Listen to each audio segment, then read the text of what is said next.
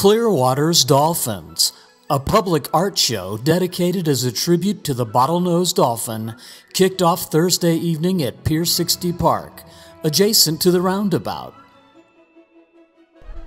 The public was invited to meet the artists and sponsors of the project.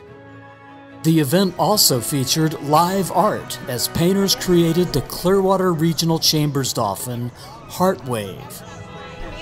Winter the Dolphin painted So one. out the colors. So has Silas Beach and other notable local artists. It's great fun for the entire family. Come stroll, bring your camera, and enjoy this fantastic display.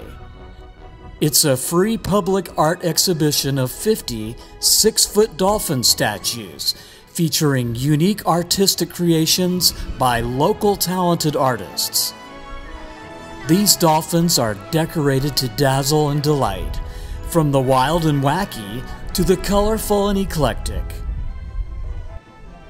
This colorful outdoor art event is a joint promotion produced by the Clearwater Regional Chamber of Commerce and supported by the City of Clearwater and the Clearwater Marine Aquarium.